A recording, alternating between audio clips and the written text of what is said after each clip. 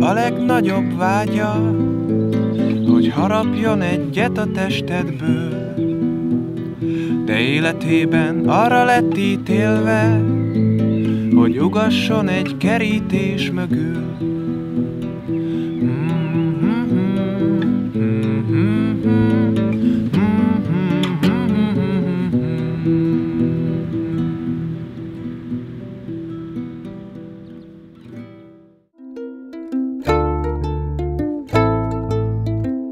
Avram Zweig egy ígéretes fiatal a hangok világában. Már gyermekkora óta érdekli a zene és annak művelése, filmek készítése és a hangokkal való játék.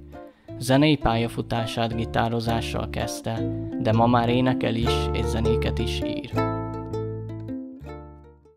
Egy-két gyerekkori élmény nagyon élénken él bennem, amik szerintem nagyban alakították az én zenei ízlésemet.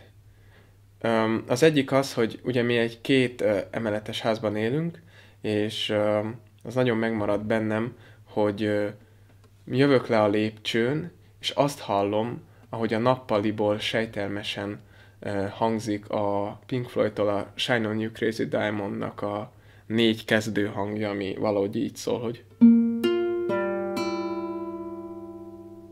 és ezekre nagyon ö, élénken emlékszem, továbbá még arra, ahogy a nagypapám egyszer ö, kint ültünk a teraszon nyáron, és egy nagyon ősrégi számítógépen ö, Bob Marley számokat mutatott nekem, és fordította a szövegüket.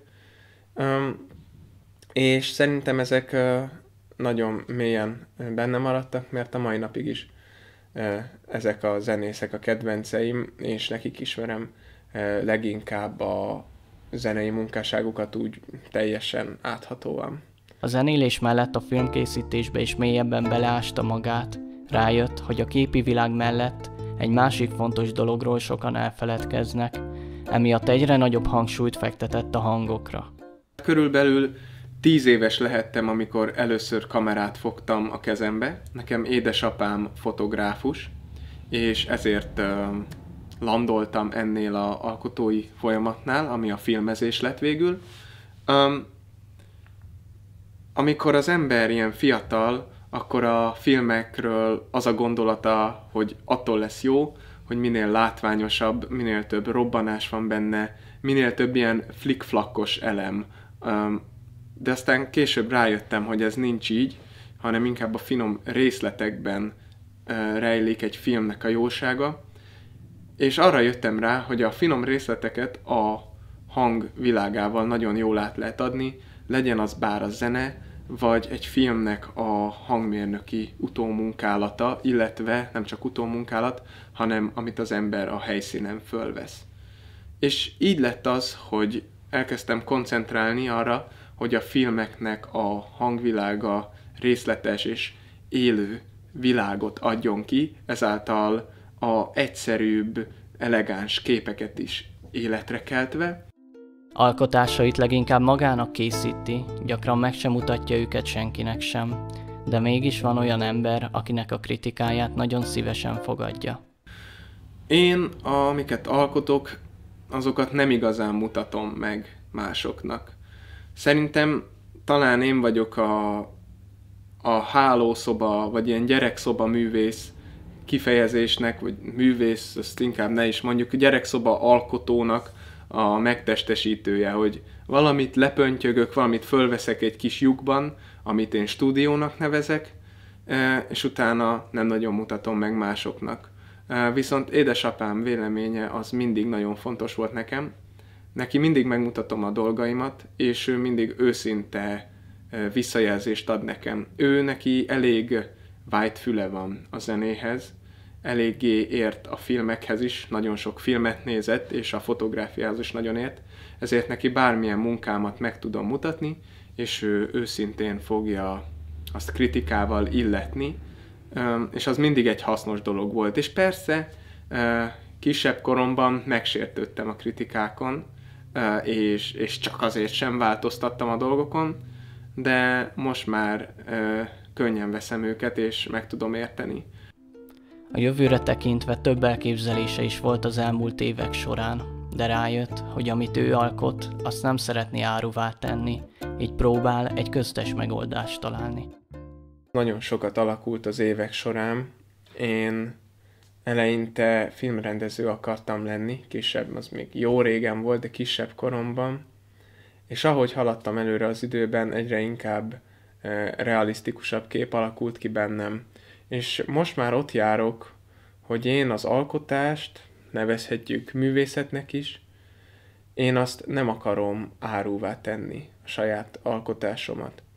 Én azt szeretném csinálni, ez egy nagyon sok év alatt gondoltam ezt ki, nem azt mondom, hogy olyan eredeti gondolat, de én erre eljöttem rá, hogy én ki szeretnék tanulni egy jó szakmát, ami számomra a hangmérnökség lenne, amiben az ember egy zenéhez közel álló, kreatív munkát végezhet, de mégiscsak szakemberként végzi, nem mint fő alkotóként. Nem ő neki, nem a hangmérnöknek kell átmenni azokon a érzelmi hullámvölgyökön, ami az alkotást jellemzi, hanem ő csak egy szakember, aki végzi a munkáját, és azért fizetést kap.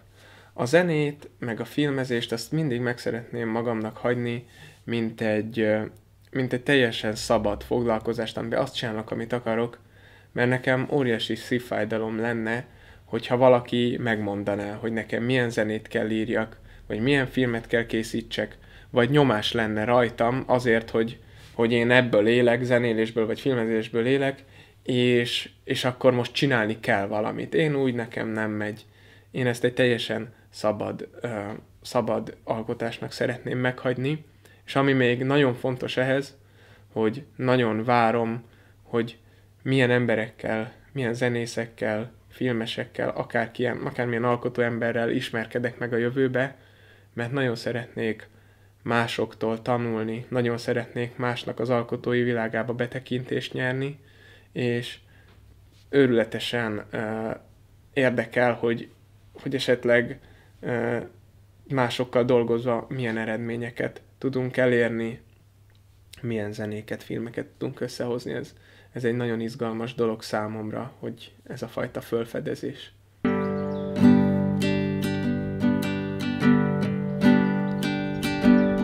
A beton for, minden ragad, szikrázik a nyár.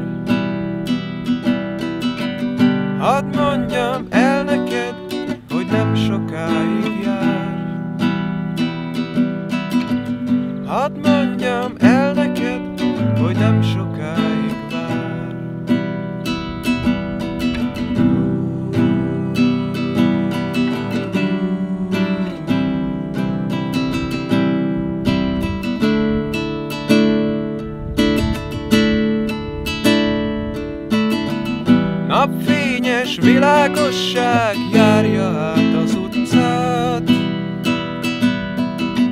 Tényleg jó volt régen, vagy ez csak egy emlék más?